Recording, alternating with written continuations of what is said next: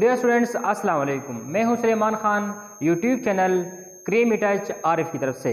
आज हम इंतहाई इम्पोर्टेंट टॉपिक डिस्कस करने वाले हैं, लेकिन टॉपिक डिस्कस करने से पहले आप लोगों से एक रिक्वेस्ट है कि वो तमाम बहन भाई जो किसी एम या किसी और कम्पिटेटिव एग्ज़ाम की तैयारी कर रहे हैं, वो ये वीडियो इन तक देखें इंतहाई ही बेनिफिशियल होने वाली, होने जा रही है। और इंतहाई ही मुफीद हैं, आप इस वीडियो से इस्तीफ़ादा हासिल कर सकते हैं। सो स्टार्ट करते हैं, बिना टाइम वेस्ट किए।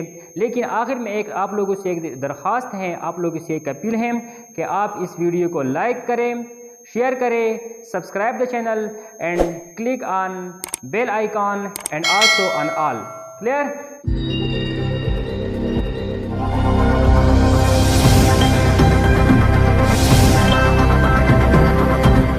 so so, चलो बढ़ते हैं अपने टॉपिक की तरफ़। सो डियर स्टूडेंट्स आप लोग जानते हैं कि हम स्टाइक्योमेट्री की बेसिक्स ऑलरेडी पढ़ चुके हैं। स्टाइक्योमेट्री की हम ऑलरेडी चार लेक्चर कवर कर चुके हैं चार लेक्चर अपलोड कर चुके हैं। वो इंतहाई ही बेसिक चीज़ें हैं स्टाइकोमेट्री जानने के लिए वो जानना ज़रूरी है। कहने का मतलब यह है कि अगर आप लोग हमारी पिछली वीडियो नहीं देखी है स्टाइकोमेट्री के मतलब वो चार हैं। ये पांचवा लेक्चर हैं तो वो ज़रूर देख देख के इधर आए। और साथ साथ कापी नोटबुक लेके इस लेक्चर को नोट करते जाएँ वरना अगर आप इसी नोट ना कर लें तो क्या होगा रिज़ल्ट ज़ीरो रिज़ल्ट देगा। क्लियर इंतहाई ही इम्पोर्टेंट है। So so, first of all stoichiometry आप लोग जानते हैं कि ये इंतहा ही इंपॉर्टेंट चैप्टर हैं। सो फ़र्स्ट ऑफ़ ऑल हम इसकी इंट्रोडक्शन पढ़ते हैं। इनके बेसिकली स्टाइक्योमेट्री क्या चीज़ है? अच्छा और इसकी ज़रूरत क्या है? आप लोग जानते हैं कि जो बड़े बड़े इंडस्ट्रीज़ होते हैं, उसमें इंजीनियर बैठे होते हैं। क्या बैठे होते हैं? इंजीनियर बैठे होते हैं। और इंजीनियर्स की का काम क्या होता है? मतलब उनका काम क्वांटिटेटिव स्टडी का what quantitative study let suppose let suppose एक इंडस्ट्री है. लेट सपोज़ एक इंडस्ट्री है और वहाँ पर जो केमिकल रिएक्शन होता है, जो इंजीनियर बैठा हुआ होता है, उनका काम सिर्फ़ यही है कि वो कोई किसी अमल को आगे बढ़ाए, कोई केमिकल रिएक्शन करवाए अपने लेबर से. सो लेट सपोज़ ये कोई बड़ी फैक्ट्री है. ये कोई क्या है? बड़ी फैक्ट्री है. क्लियर है? अच्छा. और यहाँ पर जो केमिकल रिएक्शन इस्तेमाल होता है, वो क्या है?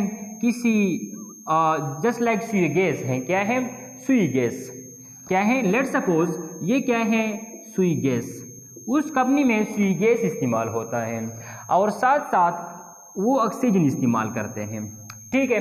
अच्छा तो आप लोग जानते हैं कि जब सुई गैस का रिएक्शन मतलब ये है कि जब मीथेन का रिएक्शन ऑक्सीजन के साथ होता है तो फ्लेम तो कंबस्टन होती है तो आग पकड़ लेती है।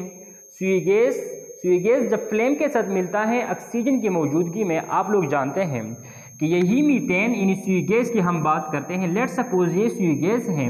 इसके साथ जब ऑक्सीजन मिलता है in the presence of what in the presence of flame flame जानते हैं आप लोग फ्लेम शोला क्लियर है? सो सुई गैस जब ऑक्सीजन की मौजूदगी में ऑक्सीजन की मौजूदगी में फ्लेम फ्लेम के ज़रिए से जब वो रिएक्शन करते हैं क्लियर है? जब, जो ही हम माचिस के ज़रिए से फ्लेम लगाते हैं तो क्या होता है? तो as a result carbon dioxide और H2O बनती है। क्लियर है? लेट सपोज़ यहाँ पर आप लोग जानते हैं कि इस रिएक्शन में क्या इस्तेमाल हो रहा है?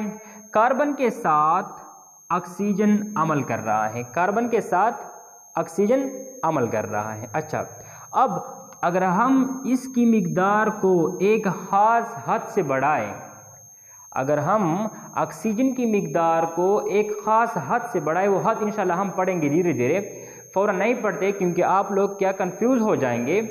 अगर इसकी मकदार हम एक हद से बढ़ाएँ तो क्या होगा? एक्सप्लोजन होगी, धमाका होगा। क्या होगा? धमाका। क्लियर है? सो सारी फैक्ट्री को नुकसान है। कहने का मतलब ये है कि जब कि कोई भी इंजीनियर हो, जब वो केमिक कोई केमिकल रिएक्शन करता है, कोई केमिकल रिएक्शन मैनेज करता है तो उनके साथ क्वांटिटेटिव स्टडी इंतहाई ही ज़रूरी है। मतलब कहने का मतलब ये है कि लेट सपोज़ अगर एक इंजीनियर मीथेन का रिएक्शन यानी गैस का रिएक्शन किसका रिएक्शन इसको हमने सुई गैस कहा। सुई गैस का रिएक्शन ऑक्सीजन के साथ करना चाहता है। तो क्या होना ज़रूरी है? तो होना ये ज़रूरी है कि इंजीनियर को पता होना चाहिए कि कितने, कितनी अमाउंट ऑफ़ सुई गैस के लिए कितनी अमाउंट ऑफ़ ऑक्सीजन ज़रूरी है। कितनी अमाउंट ऑफ़ सुई गैस के लिए कितनी अमाउंट ऑफ़ ऑक्सीजन ज़रूरी है। क्लियर है? सो जब इंजीनियर को इसकी ज़रूरत आती है कि कितनी अमाउंट ऑफ़ सुई गैस के लिए कितनी अमाउंट ऑफ़ ऑक्सीजन की ज़रूरी ज़रूरत है? तो इस पॉइंट से यहाँ से एक स्टडी आती है एक टाइटल आता है एक स्टडी की ज़रूरत हमें पेश आती है that is stoichiometry so so, मुझे उम्मीद है कि स्टाइकियोमेट्री की समझ आप लोगों को आ चुकी है।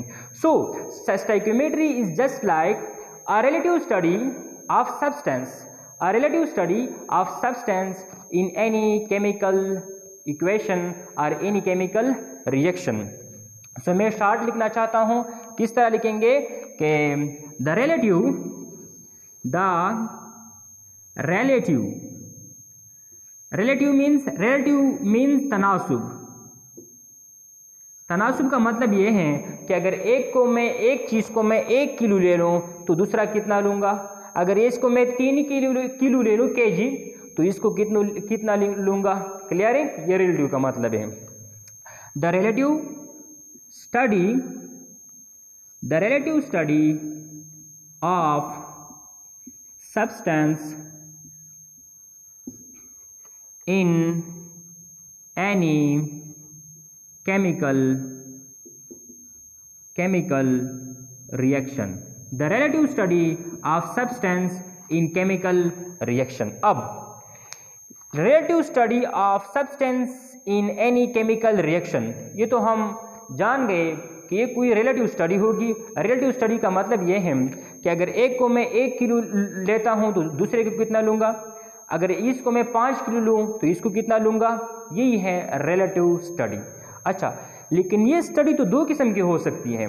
स्टडी दो किस्म की हो सकती है तो what type of study what type of study है ये? सो आप लोगों को जानना ज़रूरी है कि जिस तरह मैं बार बार किलो की बात करता हूँ it means it is a quantitative study है। What type of study quantitative study clear है? सो इसकी डिफिनीशन आप कुछ यूँ कर सकते हैं कि the relative quantitative study of substance in any chemical reaction is called stoichiometry clear है? इनशाला क्लियर होगी। अच्छा तो चलो बढ़ते हैं स्टाइक्योमेट्री की बेसिक की तरफ़। फेडरल बुक फेडरल बुक में जो लिखा गया है, वो ये है कि ये जो स्टाइक्योमेट्री है, वो Greek words Greek words स्टाइकियन स्टाइकियन and मैट्री से हैं। स्टाइकियन एंड मैट्री इन इन दो वर्ड से स्टाइक्योमेट्री बनी हुई है। मुख्तलिफ़ बुक्स में कुछ यूँ है कि यहाँ पर वो मेट्री की जगह मेट्रॉन भी लगाते हैं। क्या लगाते हैं? मेट्रॉन। सो फेडरल बुक के मुताबिक स्टाइकियोमेट्री असल में स्टाइकियन और मेट्री से है। स्टाइकियन का मतलब है स्टाइकियन का मतलब है दैट इज़ एलिमेंट क्या है? एलिमेंट और एलिमेंट आप लोग जानते हैं। Element and metry means measurement measurement clear पैमाइश पैमाइश एंड एलिमेंट तो आप लोग जानते हैं कि ये क्या है? एक मैटर है सब्सटेंस को ज़ाहिर करती हैं। अच्छा तो स्टाइकोमेट्री के जो अल्फाज हैं स्टाइकियन एंड मेट्री के एलिमेंट की मेज़रमेंट लेकिन व्हाट टाइप ऑफ़ मेज़रमेंट वो पढ़ते हैं स्टेप वाइज अच्छा तो चलो कि ये ये जो स्टडी है कि एलिमेंट एंड मेज़रमेंट क्या मतलब? तो एक्सप्लेन होती है। अच्छा ये इक्वेशन जो होता है, ये व्हाट टाइप ऑफ़ स्टडी है? स्टाइक्योमेट्री असल में कौन सी स्टडी है? तो हमने कहा तो हमने कहा कि ये क्वांटिटेटिव स्टडी है। देखिए, मैं इसे मिटाता हूँ। कौन सी स्टडी है?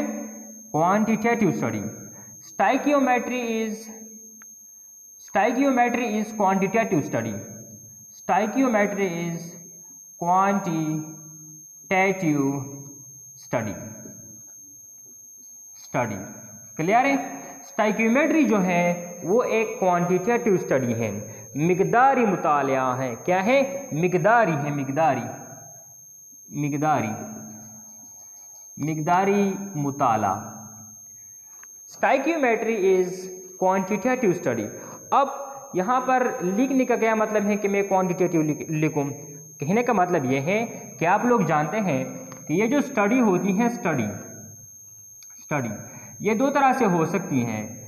या तो क्वालिटेटिव हो सकती है क्वालिटेटिव या फिर क्वांटिटेटिव हो सकती है क्वांटिटेटिव मतलब यह है के रिएक्शन की स्टडी क्वालिटेटिव भी हो सकती है और क्वांटिटेटिव भी हो सकती है। अच्छा इस रिएक्शन की क्वालिटेटिव देखिए, इस रिएक्शन की क्वालिटेटिव स्टडी क्या है? क्वांटिटेटिव स्टडी क्या है? क्वालिटेटिव स्टडीज़ की यह है कि आपने बताया कि ये मीथेन है और ये ऑक्सीजन है। इसे कहते हैं क्वालिटेटिव स्टडी क्लियर है? आइडेंटिफिकेशन करते हैं। किसी एलिमेंट का नाम लेते हैं, किसी कंपाउंड का नाम लेते हैं कि ये कौन है? तो इस ये नाम लेना क्या कहलाता है? क्वालिटेटिव स्टडी क्लियर है? सिंपली क्वांटिटेटिव स्टडी का मतलब क्या है? क्वांटिटेटिव स्टडी का मतलब क्या है? क्वांटिटेटिव स्टडी का मतलब ये है कि आपने कितने किलोग्राम, कितने मोल या फिर कितने मालिक्यूल इसके लिए और कितने मोल या किलोग्राम या मालिक्यूल इसके लिए? आपने कितनी अमाउंट कितने किलोग्राम, कितने ग्राम, कितने मोल, कितने पार्टिकल्स इसके लिए और इसके लिए? क्लियर है? कितने मालिक्यूल्स लेके उनका रिएक्शन करवाया? क्लियर है? सो देखें, ये जो है stoichiometry stoichiometry is basically quantitative study clear अच्छा नेक्स्ट इक्वेशन यहाँ पर स्टाइक्यूमेट्री में जो इक्वेशन हम इस्तेमाल करते हैं वो कौन सा होता है? किस तरह का इक्वेशन होता है? सो so, आप लोगों को जानना ज़रूरी है। देखिए मैं इसे मिटाता हूँ। इसे मिटाता हूँ। देखिए ये जो स्टाइक्यूमेट्री में जो बेसिकली जो इक्वेशन इस्तेमाल होता है वो फ़र्स्ट ऑफ़ ऑल बैलेंस्ड होता है। क्या होता है? Balanced balanced chemical equation balanced chemical equation stoichiometry में जो केमिकल इक्वेशन इस्तेमाल होता है, वो बैलेंस्ड होना चाहिए। कहने का मतलब ये है कि बैलेंस्ड केमिकल इक्वेशन क्या होता है? बैलेंस्ड केमिकल इक्वेशन ये होता है कि जहाँ पर लेफ़्ट साइड पे जितने एटम्स हैं लेफ़्ट साइड पे जितने एटम्स हैं वो बराबर होने चाहिए राइट साइड के एटमों के। बैलेंस्ड केमिकल इक्वेशन में बैलेंस के, स्टाइकोमेट्री में जो जो इक्वेशन इस्तेमाल होता है, वो बैलेंस्ड होना चाहिए। अब बैलेंस्ड होने का मतलब क्या है? बैलेंस्ड होने का मतलब ये है कि लेफ़्ट साइड पे जितने एटम्स हैं, जितने एलिमेंट, हम एटम्स की बात करते हैं। लेफ़्ट साइड पे जितने एटम्स हैं, वो बराबर होने चाहिए। सेम होने चाहिए to the right side of the equation clear है? अच्छा। सो स्टाइक्योमेट्री में जो इक्वेशन हो, इस्तेमाल करते हैं, वो बैलेंस केमिकल इक्वेशन होता है। बैलेंस केमिकल इक्वेशन का मतलब ये है कि उनके लेफ़्ट साइड और उनके राइट right साइड के जो एटम्स हैं, वो बराबर होने चाहिए। लेट सपोज़ लेट सपोज़ हम एक इक्वेशन लेते हैं देखिए H2 का रिएक्शन हम करते हैं O2 से और बनती हैं H2O अब ये तो बैलेंस नहीं है अभी तक। हम इसे बैलेंस करते हैं। किस तरह बैलेंस करते हैं यहाँ पर देखें। यहाँ पर टू लगाते हैं। यहाँ पर टू लगाते हैं और यहाँ पर टू लगाते हैं। इस इस टू को मैं मिटाता हूँ। अब देखें। यहाँ पर कितने हाइड्रोजन हैं? चार। यहाँ पर कितने हाइड्रोजन हैं? चार। Two multiply two two multiply two is equal to four so यहाँ पर चार हाइड्रोजन है यहाँ पर चार हाइड्रोजन है यहाँ पर दो ऑक्सीजन है यहाँ पर दो ऑक्सीजन है। सो so, स्टाइक्योमेट्री में जो इक्वेशन इस्तेमाल होगा वो ज़रूरी होना चाहिए कि वो बैलेंस हो। अगर वो बैलेंस ना हो तो कोई इंजीनियर स्टाइक्योमेट्री से फ़ायदा हासिल नहीं कर सकता। वो हमेशा के लिए नुकसान ही नुकसान में रहेगा। अच्छा सो स्टाइक्यूमेट्री में जो इक्वेशन इस्तेमाल होता है, वो एक ऐसा इक्वेशन है जो बैलेंस्ड होगा। बैलेंस्ड होने का मतलब यही है कि उनके राइट साइड लेफ़्ट साइड पे जो एटम्स हैं, वो बराबर होने चाहिए राइट साइड के। अच्छा इसके बाद यहाँ पर जो रिएक्शन इस्तेमाल होते हैं स्टाइक्योमेट्री में जो रिएक्शन हम स्टडी करते हैं। स्टाइक्योमेट्री में हम जो रिएक्शन स्टडी करते हैं, वो कौन से रिएक्शन होते हैं? आप लोग जानते हैं कि केमिस्ट्री में हम बेसिकली दो किस्म के रिएक्शन स्टडी करते हैं। केमिस्ट्री की बात करता कर रहा हूँ स्टाइक्योमेट्री की नहीं। केमिस्ट्री में हम बेसिकली दो टाइप के रिएक्शन स्टडी करते हैं। एक है फ़िज़िकल रिएक्शन और दूसरा है chemical reaction physical reaction and chemical reaction अब फ़िज़िकल रिएक्शन क्या होता है? फ़िज़िकल रिएक्शन का मतलब यही है कि लेट सपोज़ ये क्या है, बर्फ़ है। क्या है? बर्फ़ है। आपने उसे हीट दी और हीट के ज़रिए से आपने उसे मेल्ट किया और पानी पानी बन गई मतलब लिक्विड फॉर्म में आ गया। किस फॉर्म में? लिक्विड फॉर्म में। अब आप लोग जानते हैं कि पहले ये क्या था? बर्फ़ थी, आइस थी, आइस। आइस थी, सॉलिड फॉर्म में थी, सॉलिड। लेकिन जब हमने इसी बर्फ़ को, इसी आइस को, इसी सॉलिड को हीट दिया तो पानी बन गया। क्या बना? पानी। तो एक फ़िज़िकल चेंज है। अब फ़िज़िकल चेंज किस तरह का चेंज होता है? फ़िज़िकल चेंज एक ऐसा चेंज होता है जहाँ पर किसी सब्सटेंस का मलिकुलर फार्मूला चेंज नहीं होता। बर्फ़ का बर्फ़ का जो मलिकुलर फार्मूला है, वो H2O है। H2O है और साथ साथ पानी का क्या है? वो भी H2O है। दोनों का क्या है? H2O and H2O simple simple क्या है? फ़िज़िकल चेंज आया। पहले सॉलिड फॉर्म में था, अब लिक्विड फॉर्म में है। फ़िज़िकल चेंज एक ऐसा चेंज होता है, जिसे हम लेट सपोज़ आँखों से भी देख सकते हैं। क्या कर सकते हैं कि सिम, आँखों से उनका मुशाहिदा कर सकते हैं कि कुछ चेंज आ रहा है। या लेट सपोज़ आपके पास क्या है? पानी है, यह पानी है। क्या है? पानी। आपने इसे हीटअप किया। हीटअप किया इसे। अब ये दोबारा गैस में कन्वर्ट हो जाएगी, गैस में। लेकिन गैस का फार्मूला वही H2O होगा, वही H two O so physical change एक इस तरह का चेंज होता है जहाँ पर कोई मालिकुलर फार्मूला चेंज नहीं होता। अच्छा सो बढ़ते हैं सो बढ़ते हैं दूसरे टाइप की रिएक्शन जो केमिस्ट्री में इस्तेमाल होती हैं। वो होती हैं केमिकल रिएक्शन किस तरह के रिएक्शन केमिकल रिएक्शन अब स्टाइक्योमेट्री में हम क्या पढ़ते हैं? स्टाइक्योमेट्री में हम क्या पढ़ते हैं? स्टाइक्योमेट्री में हम स्टाइक्योमेट्री में हम फ़िज़िकल रिएक्शन नहीं पढ़ते, बल्कि स्टाइक्योमेट्री में हम केमिकल रिएक्शन पढ़ते हैं। लेकिन केमिकल रिएक्शन में हम क्या पढ़ते हैं? वट ये पढ़ते हैं, या फिर ये? नहीं ये नहीं पढ़ते, बल्कि यही पढ़ते हैं। जानना ज़रूरी है, इंतहाई ही इंपॉर्टेंट है। क्लियर है? और साथ साथ आप लोगों से यही फिर से रिक्वेस्ट करता हूँ कि हम, हमारी यही कोशिश है कि हमारी चैनल प्रमोट कर जाए। तो प्रमोशन में आप, हमें आपकी मदद की ज़रूरत है। आपकी और मदद नहीं चाहिए कि आप हमें पैसे सेंड कर ले, बल्कि सिर्फ़ लाइक द वीडियो आप वीडियो को सिंपल लाइक करें शेयर करें सब्सक्राइब करें और साथ साथ घंटी के निशान पर क्लिक करके आल पे क्लिक करें। बस यही आपकी प्रमोशन है यही आपकी हेल्प है। कोई हम ये नहीं कहते कि जेस कैश इजी पैसा वगैरह ये नहीं है। क्लियर है? अच्छा। सो so, स्टाइक्योमेट्री में हम ना तो फ़िज़िकल रिएक्शन की बात करते हैं ना रिवर्सेबल रिएक्शन की बात करते हैं।